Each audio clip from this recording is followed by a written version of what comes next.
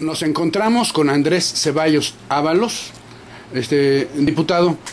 ¿En qué beneficia el que hayan aprobado la modificación a la ley para que se homologaran las elecciones para el 2012? ¿Qué beneficio le trae al Estado de Tabasco?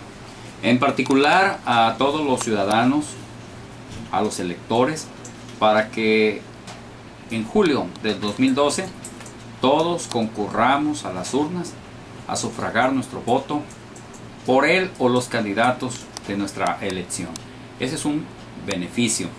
También de que se va a celebrar en la misma fecha de manera concurrente con la federal. Por primera vez en la historia de Tabasco vamos a estar todos juntos en esa gran fiesta cívico-electoral para determinar quiénes van a ser nuestras autoridades, quiénes van a conformar los poderes federal, estatal y municipales, nuestros diputados y senadores por los principios de mayoría relativa y representación proporcional a nivel federal y estatal.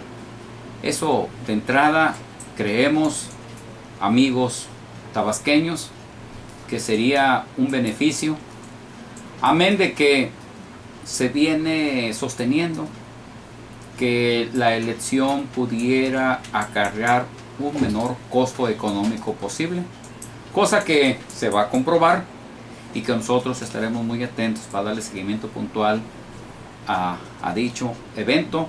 En tanto, la convocatoria desde hoy es para que todos participemos de esa gran fiesta cívico-electoral, asistiendo de manera ordenada, civilizada y mostrando la altura que todos los tabasqueños tenemos.